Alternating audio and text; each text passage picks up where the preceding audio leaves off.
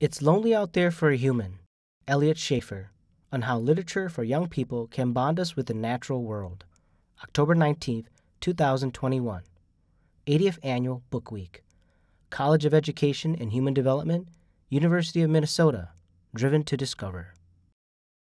So it's kind of easy to forget that we are really apes, storytelling apes, wearing clothes.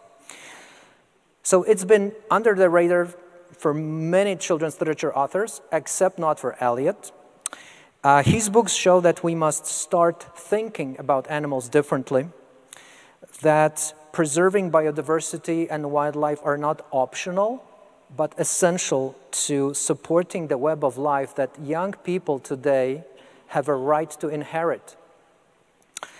Eliot's work helps young people appreciate their biospheric legacy. It inspires.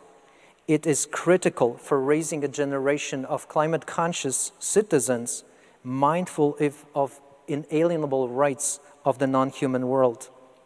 And Eliot's work has been named the best of the best by several organizations, including NPR, ALA, and the Chicago Public Library. It has won a number of prestigious awards, including the Green Earth Book Award and Sigurd Olson Nature Writing Award. But to truly appreciate what Elliot has achieved, you need to look into his work. And when you read his work, what you find is a world building jaguar or lion. He's a master wordsmith whose stories empower and transform lives. And this is a magic that defies easy explanation, magic that is more powerful than all of the awards combined, and magic that nourishes our own animal souls. So, this is the voice of Eliot Schrefer and the power behind his writing. Friends, please help me welcome the weaver of awesomeness, Eliot Schrefer. Awesome.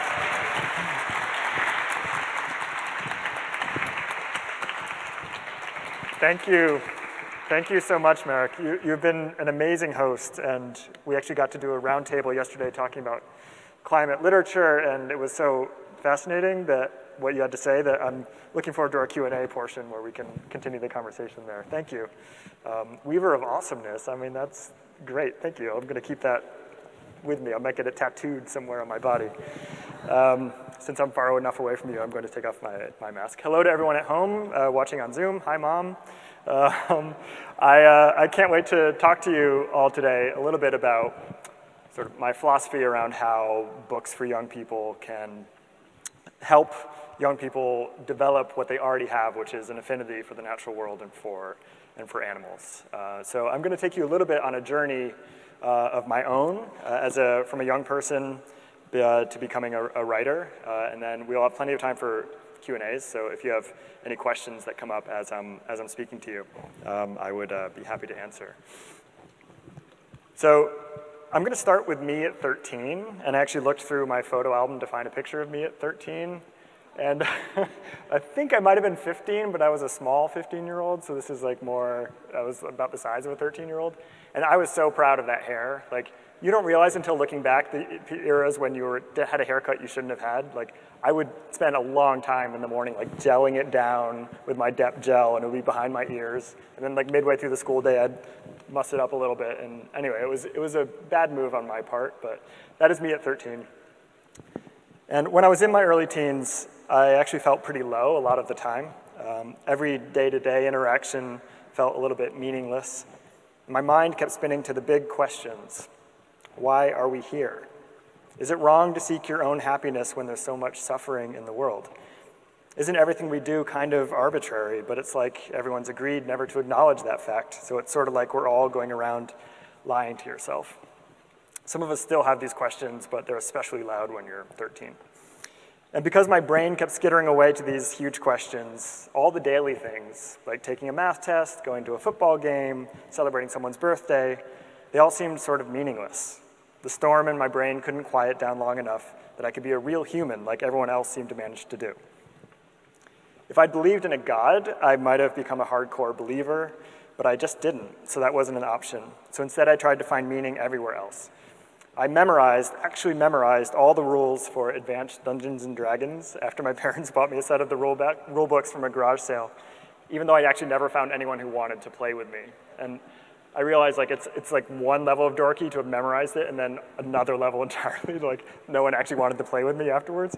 Um, and I don't know how to explain it, but there was something really comforting about knowing how many hit dice a displacer beast had or all the spells available to a cleric in the fifth level. And, um, they gave, I realize now what I was looking for was structure in the world. And those books gave me structure and order. And I was desperate for it. I was desperate for reasons for why things existed. And as a grade A nerd, which can hardly be news to you at this point, um, whenever I was in a sort of emotional hard period, I would drag myself to the library and wander the shelves, uh, waiting for one of the book spines to call out to me and say, like, here I am, young Eliot, read me for all the answers you seek. And I was in the nonfiction section one day when I spied this beautiful coffee table book called Thread of Life. And I pulled it off the shelf, and I figured I'd distract myself for a few minutes by looking at some cool animal photographs. And they were cool, but it was the text that pulled me in. And I sat where I was and I read that book, cover to cover, right there on the library's industrial carpeting. When I finished, I smiled for the first time that day.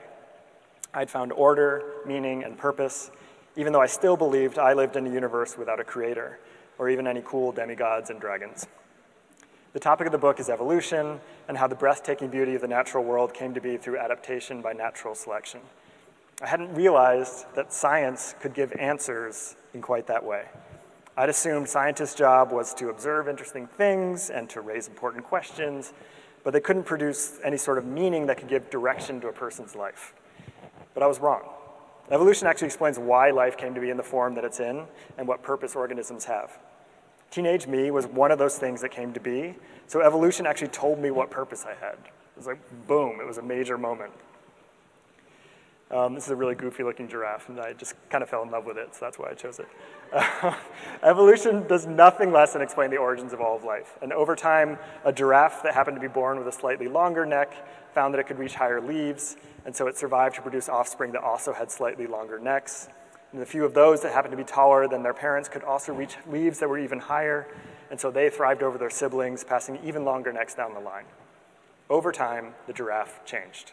They are gorgeously suited to their time in the world. The giraffe's neck came to be for a reason.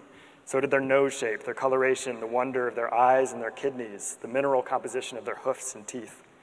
If you go back billions of years earlier, single-celled organisms started to cooperate and join together, forming the first multicellular creature, the giraffe's really early ancestor, and ours too. There exists a perfectly logical and compelling explanation for most anything about an organism. The marvelous diversity of life doesn't have to be the work of some magical intelligence. It can result from a force called natural selection that is as essential to the history of life as gravity is to physics. So my belief that everything was arbitrary and meaningless and empty had left me lonely and unhappy as a teenager, but reading about animals got me out of that hole. It's a little overdramatic to say it saved my life, but it got me halfway there. For example, I thought it was incredibly stupid to go to a football game and cheer for our side when the other team was made up of humans just like us, with their own hopes and worries. Why did we deserve to win any more than they did? Reading the evolutionary history of primates taught me how essential in-group, out-group thinking is to our hardwiring. Our tendency to turn enemies, uh, strangers into enemies has everything to do with our millions of years spent competing with rivals for scarce resources. The apes who hated identical apes on the other side of the hill were the ones that chased those enemies away or killed them and survived longer and passed more of their genes to early humans. Sports reenact that history, only symbolically this time around. Good luck bringing up the primate history of sports, by the way, when people are watching the game. Like, they do not want to hear it while they're scarfing their nachos. Um, but there's no undoing this ingrained emotional appeal of creating others and then fighting them. Uh, and so knowing this, that we're now like symbolically doing it in sports, I could actually cheer our team with a little more passion because doing so isn't arbitrary and meaningless. You're fulfilling the destiny written into your primate brain long before you were born. An awareness of this part of our biology, our tendency to create an adversary so that we succeed more, allows you to act more kindly and empathetically, to work against it uh, when the, the situation calls for it. So this is all a way of saying as background, there's a very good reason that you are who you are. It's not just random, and how wonderful it is to be linked to the giant web of life that way. So the question of my writing career has been, how can you make, how can I make young people know that relief too. Know that they are linked and bonded by something far larger than just human culture. Here's um, one of the answers I came across sort of by accident, and I'll tell you how I came to write about the apes. But this is me and one of the um, young apes I met at the sanctuary in Congo.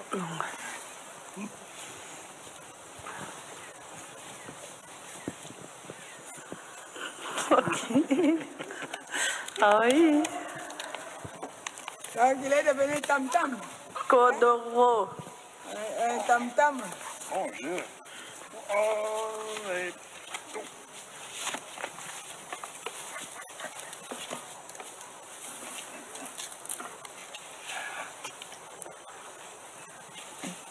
Kodoro, c'est pas un arbre après tout. Allez, descends. Descends.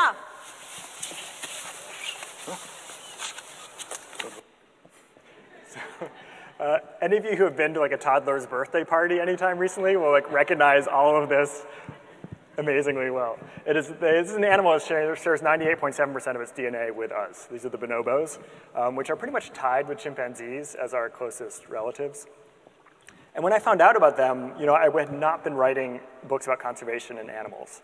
Um, but I found out about this species of creature uh, and that idea that we had something that was so closely related to us, that was so near to us, became a real inspiration. Because when scientists wanted to look at a creature that seemed like our closest animal relative, they looked at the chimpanzees for the longest time. And chimpanzees are really highly related to us, but they're also really violent. So there's chimpanzees will murder each other. They are very patriarchal society, so the female chimpanzees are, by our human standards, abused by the males. They'll practice infanticide, so they'll kill the offspring of other chimpanzees. And to me, the most alarming thing about a chimp is that if you have a group of 16 chimps in the jungle, they'll grow and they'll thrive till you have a group of about 30 or 32. They'll split into two groups, and then once enough time goes by, they'll go to war. And whichever side is stronger will kill off the members of the weaker side until once again you have 16 chimps in the jungle. And so this is a creature, the chimp, that is 99% identical to us and is like destined to war and kill each other. So this is where we got all our conceptions of, of humanity, that our best part about us is our culture that prevents us from being violent, and our animal side is the, is the, the dangerous side that we must avoid. And that is like deeply ingrained in us as a culture. And no one was talking about these bonobos because no one knew about them. There's only about 10,000 of them remaining. They live only in the center of Congo. Um, and it was, wasn't until the 1980s that any scientific studies were launched of bonobos. But once they were, we found out this creature is tied with the chimp as our closest relative, but they don't have any of those negative qualities that chimps have. So they don't murder each other, they're very peaceful, they're not patriarchal, they're matriarchal, so the females are in charge. Um, and when you have mothers in charge, they have a vested interest in making sure that no one's killing the, the infants. So they have this much more benevolent society. And so it's amazing as a writer, you know, I'm sort of always on the lookout for things that thematically or, or metaphorically are really interesting. And so we have a tie, like basically the angel and the devil on our shoulder of these two creatures, one of whom found a way to be peaceful and one of whom is incredibly violent. Um, but the way it, the book I wrote before, Endangered, was uh, called The School for Dangerous Girls. It was about a boarding school for criminal young ladies. Um, and it's just totally a total left turn. And what happened to me was, was another bonobo. I, am really going for the cute ones in these pictures, but I'll show some uglier ones later. But I bought a pair of pants that were Bonobos brand. It's like a brand of khakis. I don't know if anyone's wearing any, um, but they arrived, and the pants are fine. I don't get like paid product placement for putting those up on the slide. Um, but the pants came, and I Googled it, and I was like, where did they come up with this crazy name for pants? And I found all these YouTube videos of these bonobos.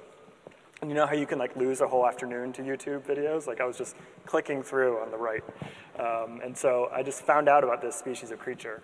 And so I was curious enough to want to read more, so I read a, a account by a primatologist named Vanessa Woods.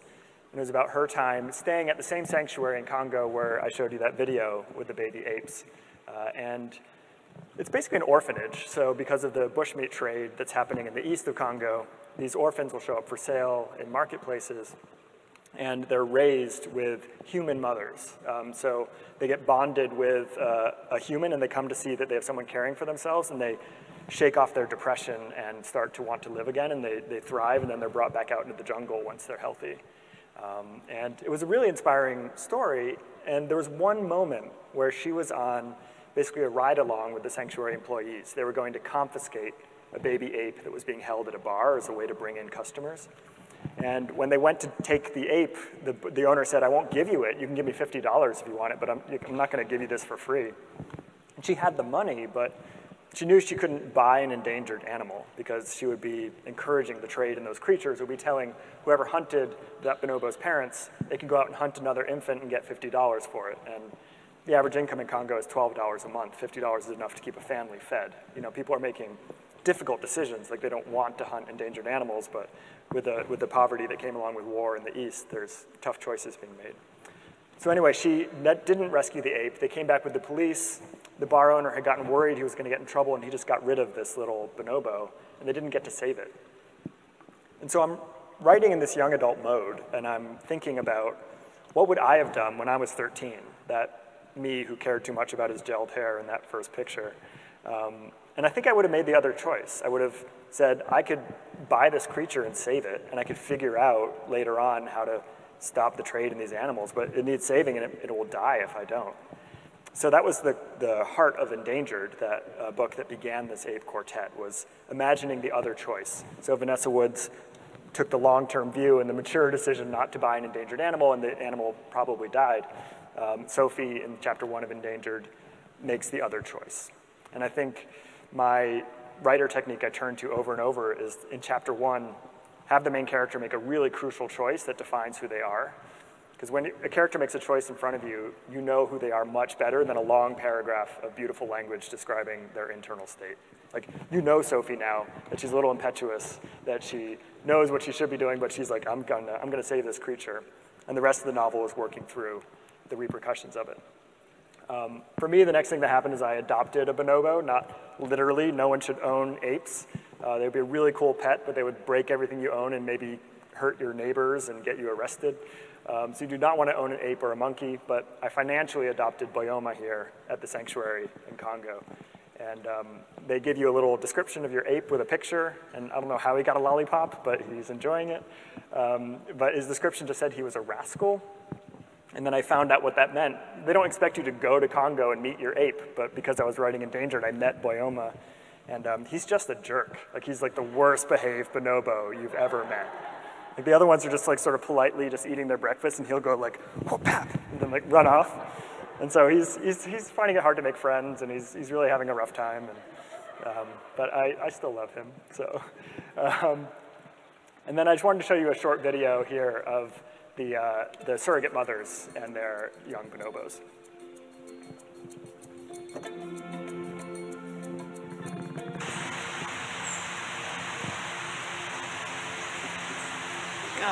Oh. En tout cas, il vient très bien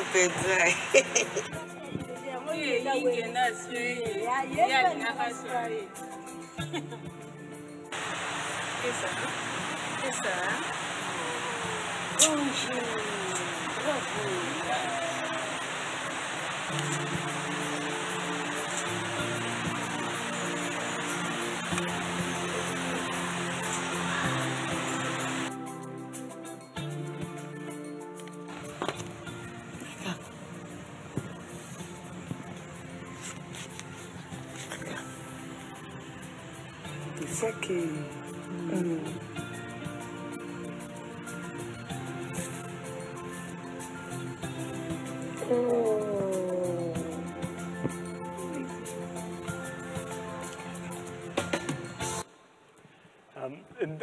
What struck me the most learning about these apes was their emotional side. And I think we do a great job in our communicating with young people about the facts about animals and apes, but the, nothing can work quite like fiction can at forging an emotional connection. And it was really hard in my research before going to the sanctuary to actually see the incredible range of personalities that these apes had. Um, so as you can see from those videos, like some of them are rambunctious and causing trouble, others are shy and just want to hang out with their surrogate mother. It's the same range of personalities you find in, in human children. And I think, you know, telling stories in a believable way about animals is a way to prove to kids what might bond us with the natural world in a way that facts and, and encyclopedia articles can't. Um, this is Sake, who's one of the adults. I would spend a lot of my research time with her uh, because I would sit on one side of this electric fence and just take notes on the apes. And wherever she was, she would come over and she would sit on the other side of the fence and watch me. And I could tell she was thinking, like, why is this hairless ape taking notes about us? Like, what is he doing? Um, but she was never wanted me to know she was paying attention to me, so I would feel her eyes on me while I was taking notes, and then I would look over at her, and she would look off into the distance, and then I would go back to taking notes, and she'd be looking at me again. I'd look over, and she would look off, and we would do this all afternoon. Um, so she was like had her own sort of temperament and became one of the characters in the book. And I knew I could take all the apes I met and put them into endangered because they weren't going to sue me for slander or libel, right? Like they weren't going to read it. I was, I was pretty safe. But this is the most foundational one. His name is Oshwe. Um, and he is, let's see if there's place He's just about one year old here.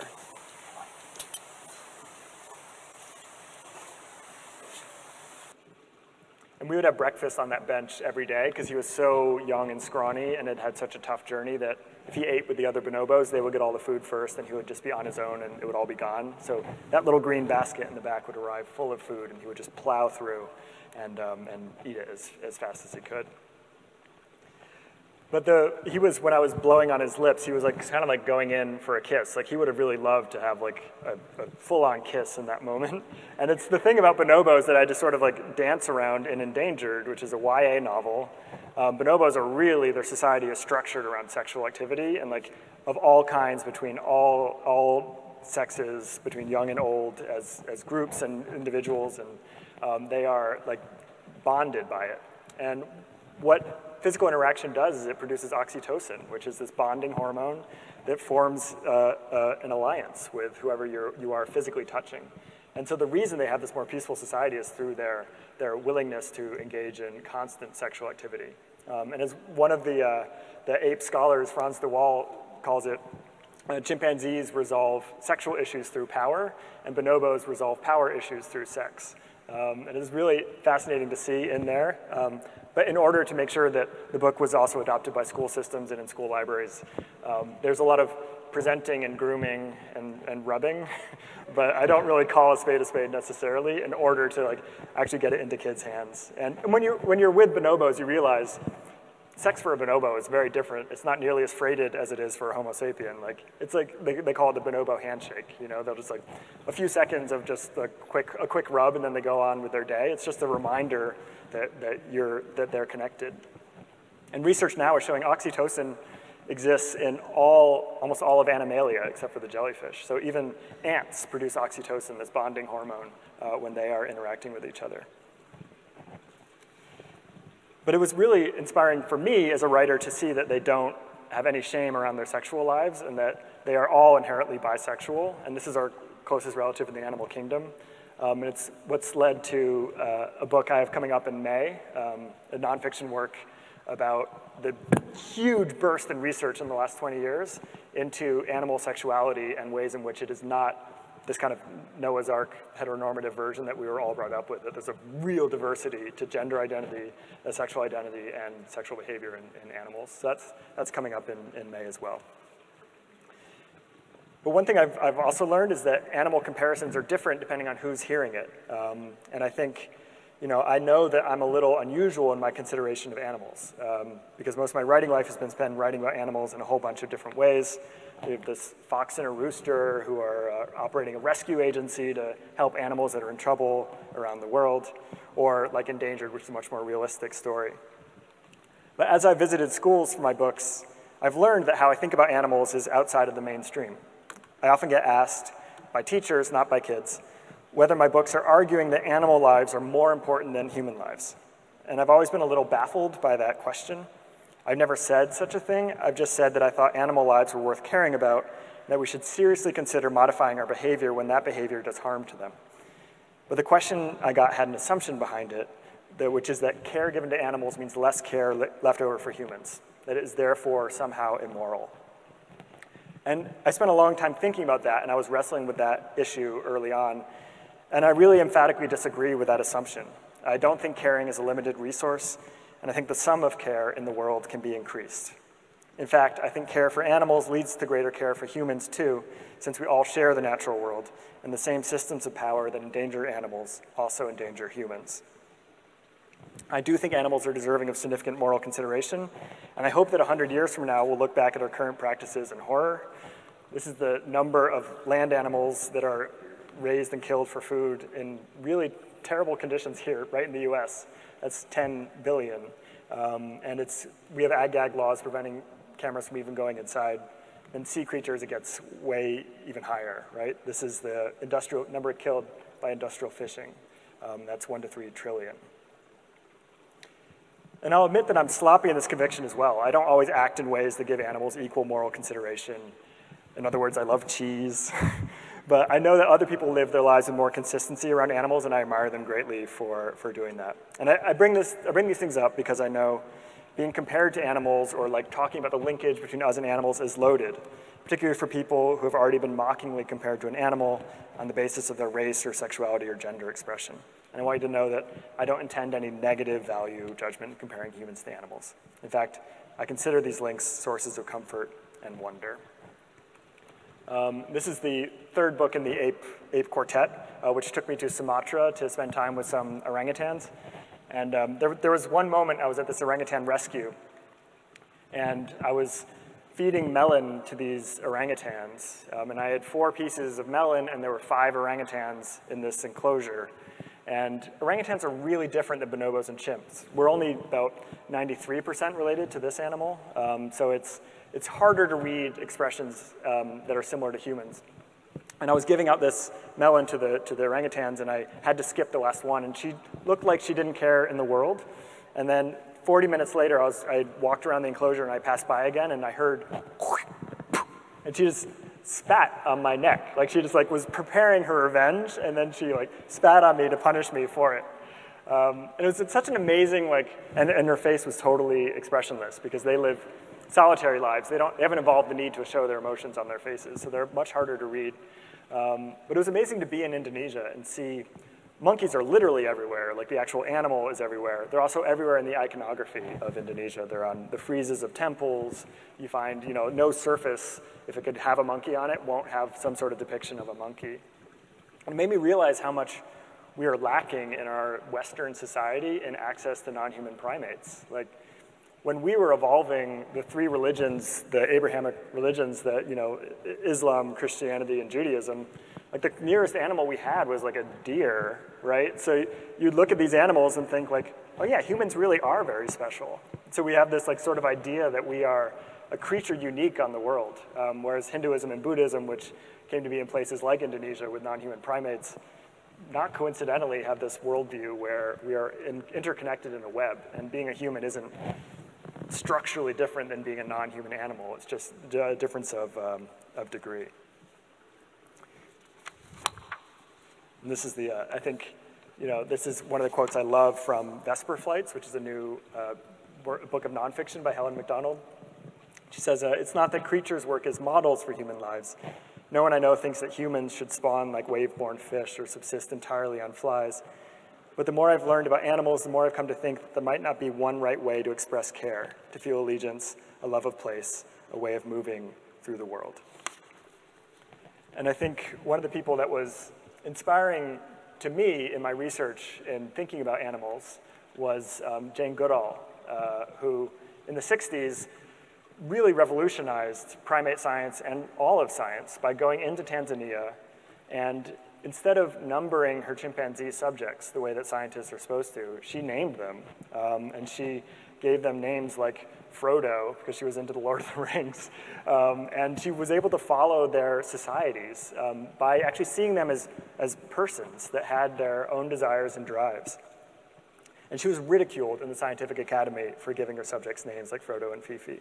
But she credits that naming with allowing her to see them as individuals with their own drives and desires and therefore to, enjoy, to observe a greater range of behaviors within them. One of her chimpanzees, Flo, was in two of her books and became so beloved by the reading public in uh, England and around the world that she's actually the only non-human ever to receive an obituary in the Sunday Times. Um, and she has these ragged ears. Um, she's a grandmother many times over. And my favorite little tidbit in, in Goodall's writings is that she was also the one that all the, all the guys were into. Like, of any age, like, she was the most popular one. Um, and they were just, they saw something in Flo that they were very excited about.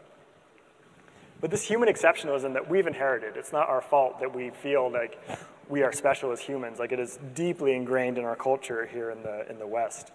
It tells us that the land and its inhabitants were placed here for us to use, that they are property and natural resources rather than beings with internal lives and identities.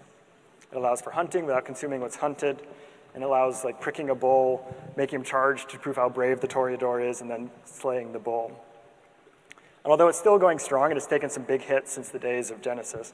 But the biggest was maybe when Charles Darwin published his theory of evolution by natural selection, which compellingly argued that humans and apes share a common ancestor. It's hard to overstate how shocking that would have been to a world that truly saw humans as something essentially separate from the rest of creation. Humans can't be related to animals. We have souls. Like we were created on an entirely different day.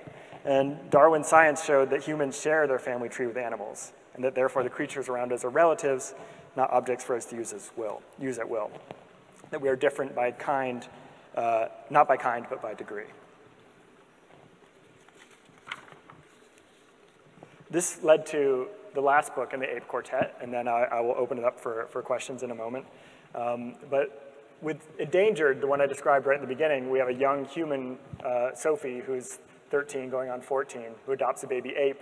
With the last book in the quartet about gorillas, I swapped that plot line. So I imagined a gorilla who winds up adopting a baby human. Like to think about how, how might a gorilla um, uh, care for one of us that had need of it. Um, and that came to be because when I was doing my research into gorillas, preparing to write this work, um, it, I realized, it revealed to me that gorillas used to live in a, by the millions across Central Africa. They were one of the dominant creatures. This is a million years ago. Um, and what happened is the, a series of volcanic explosions happened and formed the Great Rift Valley, which allowed humans for the first time to come down into that part of Africa. So you had these early humans, 600,000 years ago, meeting gorillas. And at the time, like if you looked at it just through a camera lens, it would not have seemed likely that we would now be in the position that we are. I mean, a human is sort of scrawny, like our skin breaks really easily, our teeth are pathetic, and this gorilla is like this hulking animal.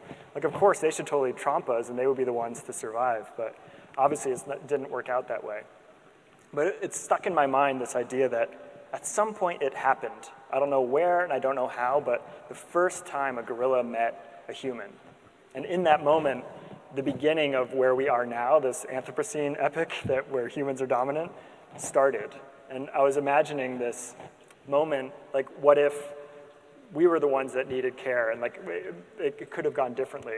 So I wrote this book from a gorilla's point of view, um, and I wrote it all in two months in just normal prose, and I gave it to my editor, uh, and he said, you know what, we have to have lunch, and I know when my editor wants to have lunch with me, it's bad news. Um, and we had lunch, and he said, you know what, I just, paragraphs and sentences for this gorilla just don't make sense. Like, I don't feel like I'm in her mind. And would you consider changing it into verse? Um, and so I ended up changing it into a verse novel, which I didn't self-identify as a poet, but it was a way to have white space on the lines to break up the language, to be more impressionistic, and also to skip all the inter interconnective tissue. Like I skipped all the scenes that weren't essential and just had these sort of poems that moved through this gorilla's life as she adopts this um, orphaned human. Um, and it took the book from being 80,000 words to 20,000 words. And it, I realized like, it made me now, I write slimmer books because I'm, I'm like, oh, you, you actually don't need those other 60,000 words. And I'm sorry, previous readers, for always, uh, for always putting them in. But I think, you know, I, I just want to conclude by, by saying that without making a conscious decision to, we spend most of our intellectual history as a species working hard to identify what makes us special and what distinguishes us and how we are separate from the natural world. Just think about how easily we say we're going into nature on a weekend trip, as though our apartment, our home, isn't also part of nature. Or how an average movie will talk about the hero saving the world when what that really means is saving human civilization. Like they're one and the same to our, our consciousness. And to think about humans differently, to strip away our lonely status as above the rest of the animal kingdom, it means ruffling feathers. It's uncomfortable. It requires consciously giving up some of the power we've artificially granted ourselves by saying that we were the only ones created in God's image. But it just might be the key to creating a new generation that is invested in its destiny amid nature, not above it. It requires working against centuries of human exceptionalism. It's been nice to be exceptional. It comes along with a lot of great perks. Like we get to beautiful buildings like this. But sometimes we have to toss aside something that gives us power in the name of pursuing compassion and justice. What naysayers have called nature's intention is just how centuries of humans have decided the natural order ought to be. There's no need to keep traditions that hurt or exclude anyone, including non humans. After all, traditions are just peer pressure from dead people, and we get to make new ones of our own. So, what if our literature for young people and for old people could begin to focus not on what makes humans exceptional, but on what bonds us with the natural world? What if that didn't feel like a loss, but like a relief? Thank you. Thank you, Eliot. Yeah, thanks, Mark. Uh, what we'll do is we'll start with maybe two questions on scene and then open the floor to questions. Okay, and questions also from our remote audience. How do you protect yourself from making yourself vulnerable? Like thinking about these topics and writing about, you know, our relation to animals and our sort of broken kinship with the natural world which like the more you think about it, the more it hurts, and it sort of and you're asking your audience to be also vulnerable. Mm. And to how do you deal with this? Yeah. Um, how do you? It's like it's very easy to like sort of keep the curtain closed, right? Like uh-huh. not have to like just get through your day to day, and we learn not to think about the things that are upsetting, you know. Um, and I used to, you know, if I was reading the newspaper and I saw an article about you know, the, the war in Congo or about endangered animals dying, like I would just kind of skip skip the article because I knew I wouldn't fully understand what was going on. I wouldn't be able to do anything and mm-hmm. just move on to the, you know, celebrity pages or something. But um, it's, I think especially when writing for young people, like you have to, A, be honest because they crave honesty, um, but B, also provide pathways, uh, other emotional experiences as part of it, you know, so like humor or um, having a really exciting story um, and a sense of hope, you know, that, that there's, there are things to do and, and ways to help.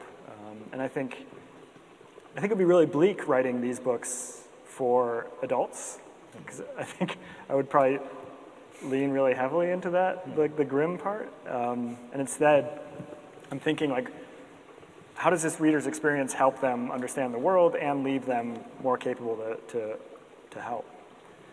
So, do you think that anthropomorphism helps?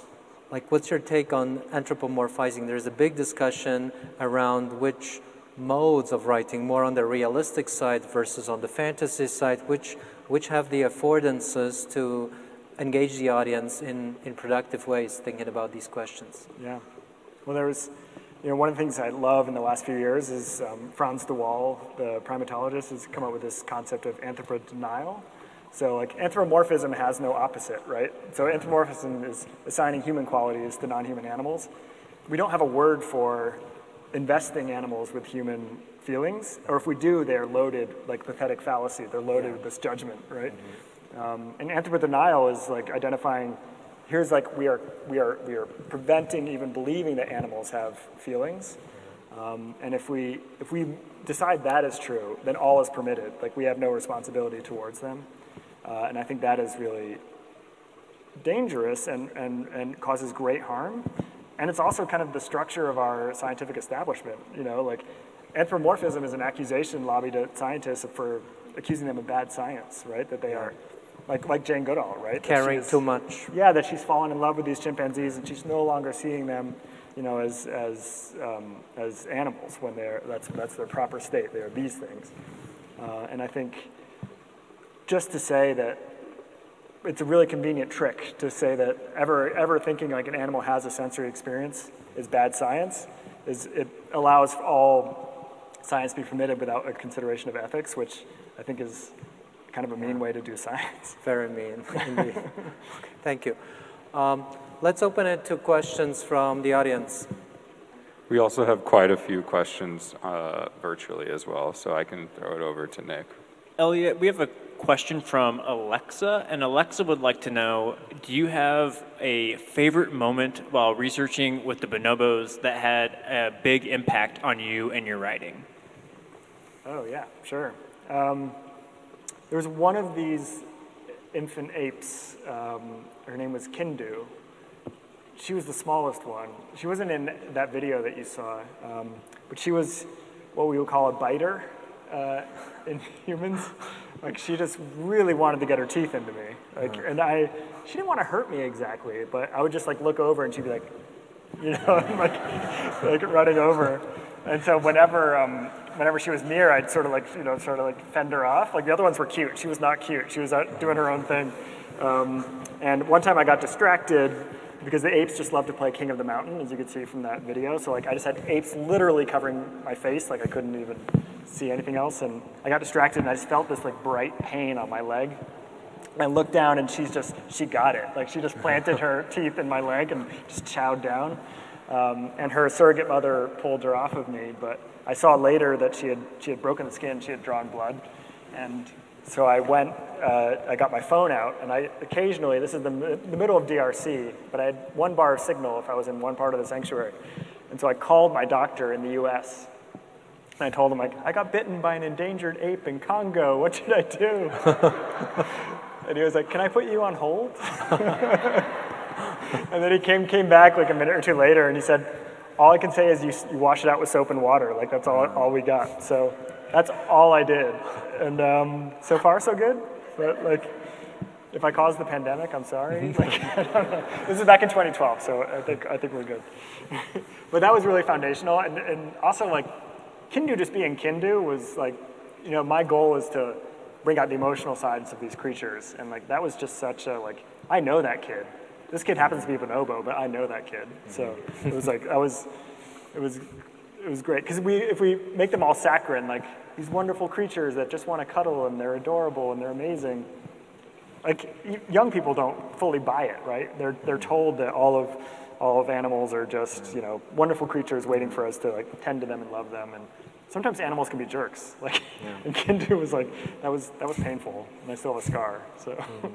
but that was an important part to making it believable I think I would like to ask um, from your perspective as an author when you write for young adult do you consider the human cognitive development or you just write do you just like um, sort the values that you want to deliver in your book or you just you believe that humans are not never too young to learn about anything oh yeah so do i do i hold back in certain topics based on the age of who i'm writing for yeah um, that's a great question it's something i wrestle with for each book like and i think it is, I mean, it's tempting to say young people can take anything, like they are, they are, they're ready for it. But I also know, like, young people can be traumatized, you know, by reading something that they're not ready for. And it's, it's if it's treated in a way that they've either difficulty accessing or, or it, it, they, don't, they can't understand enough of it to sort of get through and get somewhere positive at the end of it, that it can be dangerous to, to give it to a child. So I do think about um, the way I'm telling stories, depending on the age. Um, and I think this ape quartet is, is unusual because usually our animal stories tend to be for younger readers, right? So once we're in YA, it's like humans having human stories, and we, the animal stories kind of drop out. And I think, and once we get to adults, adult literature, like we have very few stories that feature animals as main characters. Um, and I think I, I, I, see why most of our books are about adults, but sometimes I look at the shelf and I'm like, all of our books are about people. Like, like we do have good stories, but we're not the only stories happening, right? Like other creatures are having pretty fascinating stories that we might want to read about. So um, I do tend to kind of push animals into older age groups. But when I'm writing for really young readers, like the Animal Rescue Agency, you know, it's a fox and a rooster having you know funny banter and rescuing an animal that we all know is going to be fine in the end. And um, for some kids, like that is that is enough danger. Like that is just the right spot. So, just providing those resources. Great question. Thanks. Eliot, we have a question from Brian, and Brian would like to know what recommendations of books or other literature do you have for young audiences, like the three to six year old range, to help them appreciate the non anthropomorphic, non human world? Oh, yeah. Oh, we actually have a picture book expert here, Phyllis Root. Not to put you on the spot, Phyllis, but Phyllis is an amazing author of picture books for young people. Um, what are your go-tos on empathetic books for young people? Could you, could you repeat the question? yeah, so books for three to six year olds that would foster a, a feeling of responsibility towards the natural world. For the natural world, not just animals. I, I think, mean, I think any good nonfiction will do that. Um, but I, I think there's a lot of books that are out or coming out. Like I think of Jackie Briggs Martin's Creek Finding, mm. you know, which is about finding this buried creek and restoring the world. Um, boy, I, I can't come up with titles. I wasn't really prepared. Sorry, that was, that was not, not really fair of me. Yeah. But, but I do think that um, picture books, respecting the natural world, and also, I would say, um, instilling not just respect, but a sense of wonder. Do you know, um, I was working with Jackie and with uh, Liza Ketchum on this book that we wrote about the Rusty Patch Bumblebee. And it wasn't until we, we literally came to the line and discovered that this was a really important line, and there's the wonder. So I think any anytime you can put that into a book for children, and then what you said, honesty you know, not, not, um, not giving into the urge to anthropomorphize or to make things cute or something like that. I mean, there's so much amazing, so many amazing things about the world, you know, um, and children are just in love with it all and fascinated by it all. So I know that's not really a very specific answer, um, but I'm going to give them. Thanks, Phyllis. So, Eliot, um, I teach here at the university, and I've been teaching for over 20 years now. And I really, I resonate with so much of what you say. And I also know it's really hard to get students to be able to interact with nature, uh, even the Mississippi River. I mean, we're so fortunate to be right there. But to get them along or even in the river, let alone interact with animals. I, I, I, think we're moving in the opposite direction, and it's, it's very sobering to me to, um, to try to, you know, as someone who's trying really hard to do that. Um, and I think students really want that too, but they've also been conditioned away from that through K through 12, et cetera, unless they have good teachers or good programs. I know you teach at Hamline, but I, I would like to just hear what Well, I don't know. Will you solve this, please? Thank you. Okay, Can I solve it for you? Yes. no problem. Yeah. Um, it's easy. well, I, I think um, I, I, certainly have, feel this way. But like, it feels like all the, the good nature is like curated somewhere that you should go to and go watch it, right? Like, if you really want to have a natural experience, you should, you know, go do chimpanzee trekking in Uganda and like stuff around here is not, you're not getting the full experience. It's sort of the way that which, you know, our curated algorithms for our feed, right? Like the best posts are the one that you're going to get.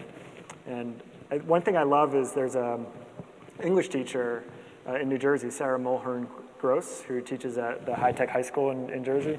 And she has her students go out and sit in a square yard of grass, just in the field at the school.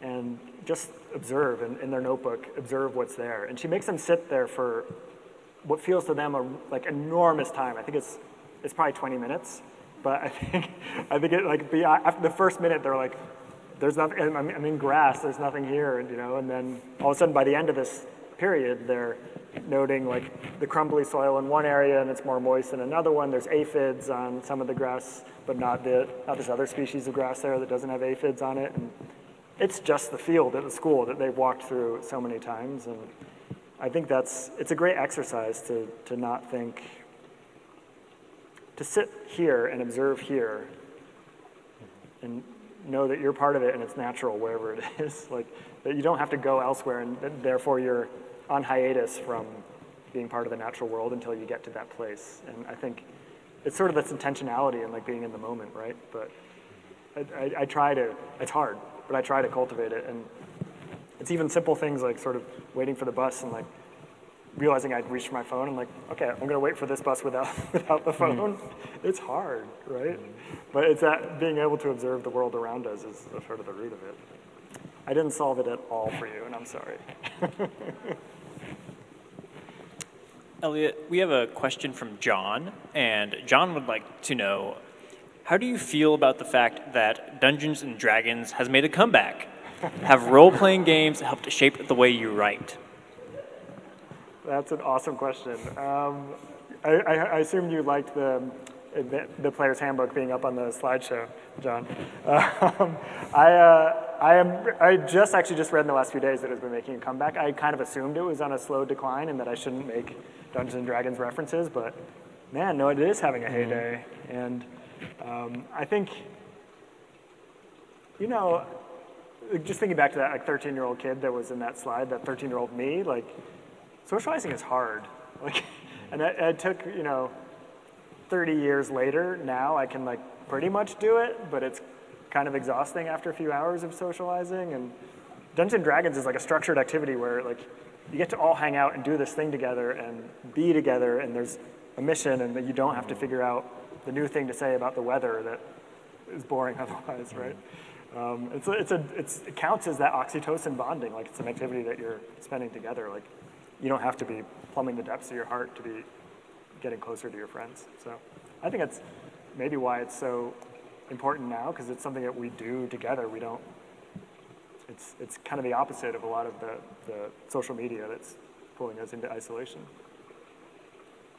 So you recently wrote a science fiction novel, which is very good. Um, and in thinking about using science to inform literature and creativity, and knowing that we're on kind of the crest of this big climate change thing that we're gonna, we're all gonna hit. And in being responsible to a young reader, knowing that they're gonna inherit this world that is going to look very different, how do you not write a depressing, dystopic novel and end with hope and be like, these things are going to happen. It's no longer science fiction, it's just science. It's going to happen. We need to be addressing it in literature for young people but we also need to give them hope at the end of that. How do you yeah. see that working and balancing? Yeah, that's a great question, Andrea. Um, hi. um, I, I think, so sometimes it is the like ending on a message of hope, like you described. I think, especially with younger readers, I, I do come back to that as key.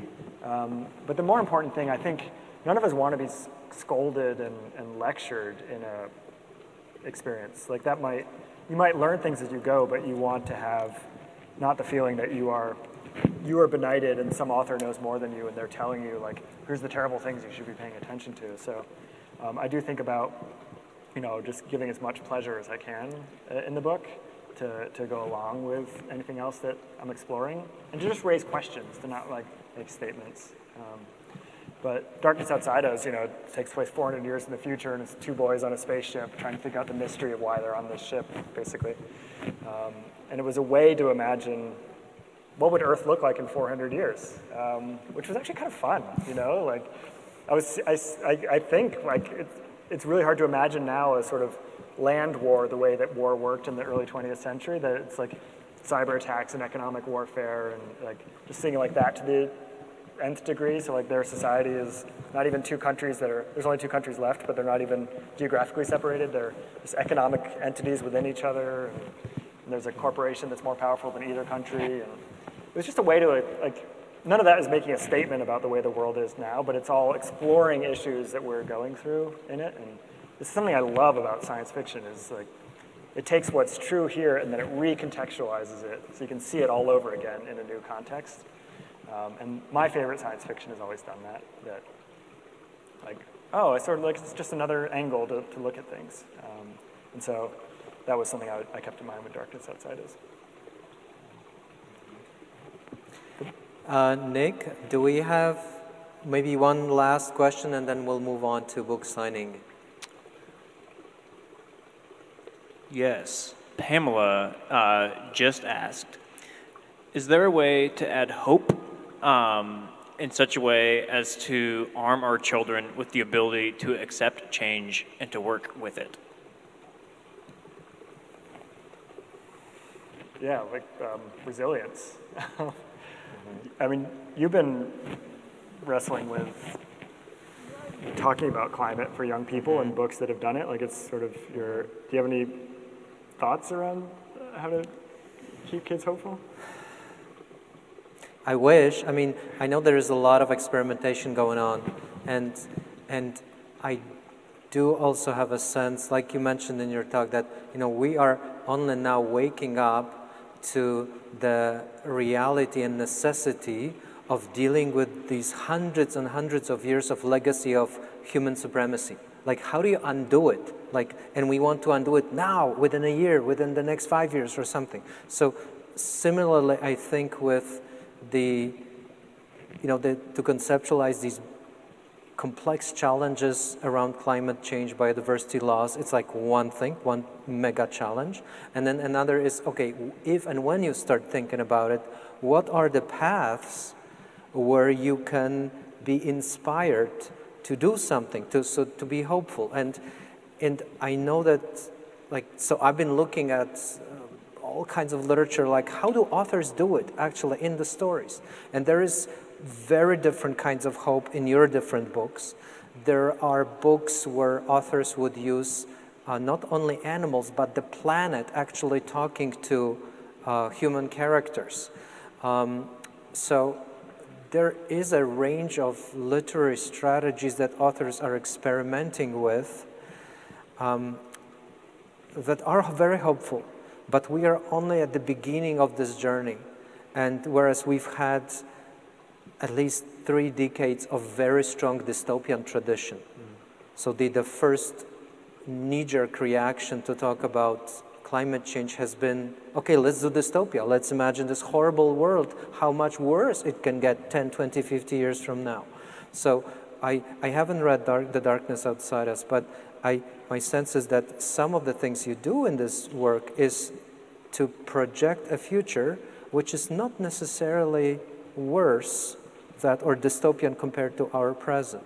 It's like even creating this kind of opening is in itself a, an operation of hope. Mm. But I guess I, uh, it's, it's not really like an answer. Yeah. uh, well, there's no easy answer for that one, right? Like building resilience in young people. But something I do keep in mind, especially when writing about animals, is that you know, often the first question I get from an audience is like, does the animal die at the end? Like, no one wants to read that book. Like we've all been brutalized by those books, mm-hmm. right? Like where the red fern grows and Old Yeller. And, sorry, fans out there. Um, and so I keep that in mind. Like my job is not to like make you really unhappy by the end. So like the animals don't die at the end of my books, you know, like not to spoiler it, but I think it's part of that building wonder, right? So you have this emotional connection with characters. Some of them are non-human, but you also connected with them, and it was really cool, and you had a fun time and at the end of the book, I, I usually include like a, a, page of further resources, like four articles that are kid friendly, kid facing, that they could read to get more information. And I think most readers will not follow. And then there might be like a small percentage of young readers who are, their, their lives are wide open, what they're going to do with them, right? And so some of that further reading and exploration will create the next generation of people working to help. So, yeah. Thank you um, so much. Thank you. Yeah. Thank you, thank everyone, you and thank you, our remote audience. Uh, we will now have Eliot signing books at the back of the room. So um, thanks, everyone, for coming out tonight. Um, and uh, I hope to see you next year at our next book week. Thank you. Thanks. Thank you. Thanks, Eliot. Thanks. It's been wonderful.